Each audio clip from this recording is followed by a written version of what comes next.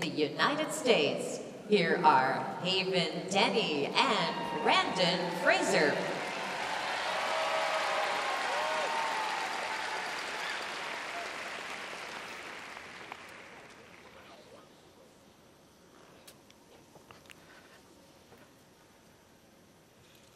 На Гран-при Соединенных Штатов Америки начинается выступление тройки сильнейших спортивных пар после короткой программы.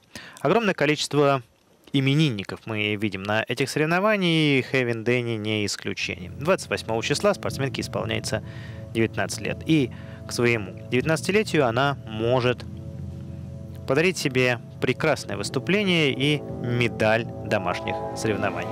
Осталось только удержать, как минимум, третью позицию. Хевен Дэнни, Брэндон Фрейзер, Соединенные Штаты Америки.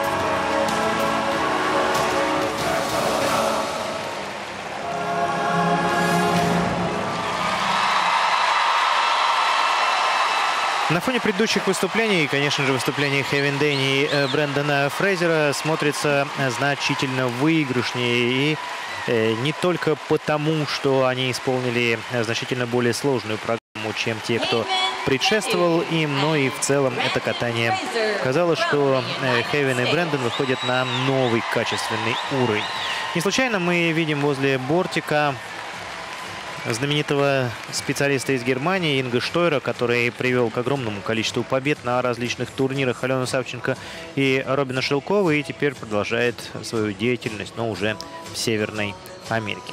Что же касается выступления Хевина и Брэндона, то они катались под саундтрек к знаменитому мультфильму «Король лев».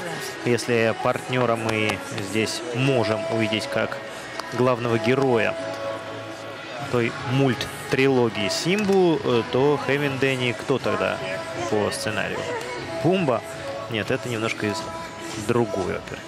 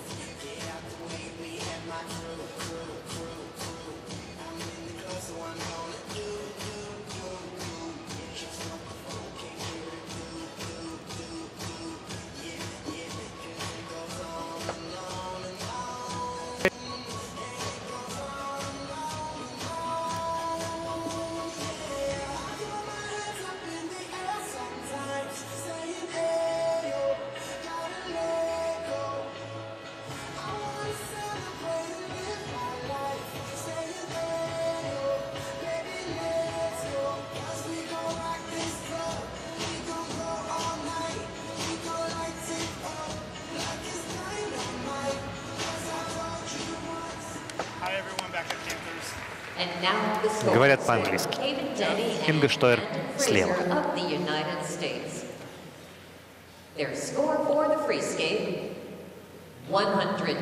122 балла и 76 сотых, и это уже результат, на который не только стоит ориентироваться, но к которому нужно присматриваться максимально внимательно. 183 и 84 результат американского дуэта, и то, и другое их личные рекорды, причем с хорошим запасом.